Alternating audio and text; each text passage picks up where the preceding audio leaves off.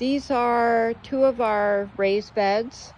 Um, we have onions, broccoli, cauliflower, and Brussels sprouts with some Swiss chard.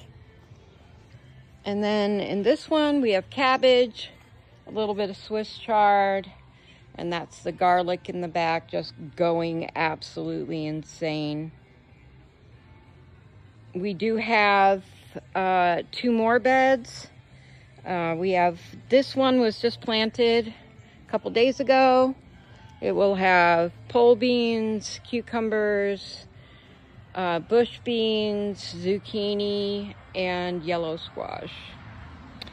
That one still needs to be filled, and I have two more eight foot beds that um, one is going to be sweet potatoes, the other one is going to be um, determinate uh, tomatoes. This one here is just going to be uh, just a conglomeration. We'll see what what seeds I have and what we're going to get in there. Um, this second one is probably going to be more of a fall harvest bed. So, yeah, we just have to wait and get more dirt because we grow rocks here. We grow rocks really, really, really well.